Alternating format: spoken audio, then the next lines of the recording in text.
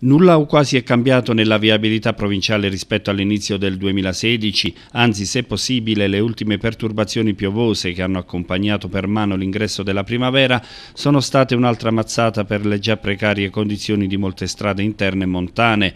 Buona parte del Molise centrale è sotto scacco, da Palata a Castelmauro, da Montefalcone ad Acquaviva, da Trivento a Fossalto, da Civita a Campomarano a Montecilfone. C'è un diffuso senso di impotenza tra gli automobilisti di fronte alle alle difficoltà economiche delle due amministrazioni provinciali che impediscono di mettere in sicurezza il territorio e garantire comunicazioni viarie degne di un paese civile.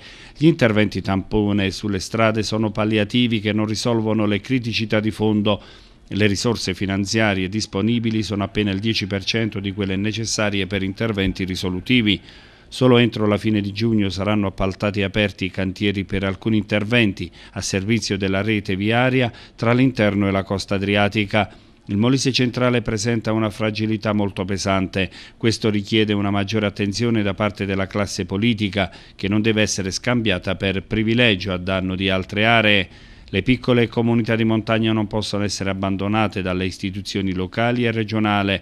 Sindaci e mondo della Chiesa tornano a chiedere alla politica di sostenere le realtà più piccole e marginate. Anziani, studenti e lavoratori pendolari hanno una dignità che va difesa.